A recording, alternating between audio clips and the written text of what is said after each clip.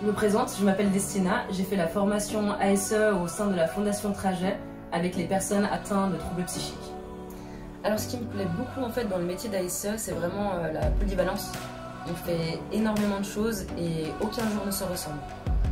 Le métier d'ASE, c'est aussi une partie administrative, par exemple lorsqu'on doit préparer une activité ou un séjour avec les bénéficiaires.